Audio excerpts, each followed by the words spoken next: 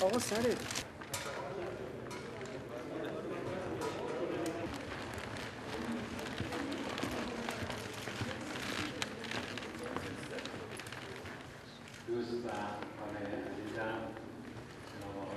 توصیه ما به همه طرف های این موضوع این هست که به مذاکرات برگردند و از آزمودن راهی که قبلا آزمودن پرهیز کنند.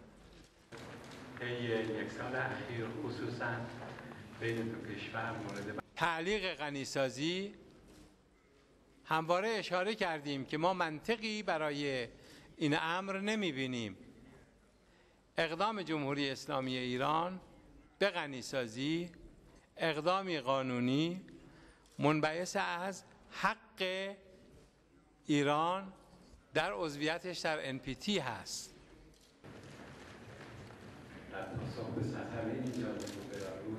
زبان تهدید و زمان تهدید گذشته است. در منطقه ما تهدید و حتی عمل به تهدیدها رو تجربه کردند ما توصیه می‌کنیم و دعوت می‌کنیم به مذاکرات صادقانه برگردند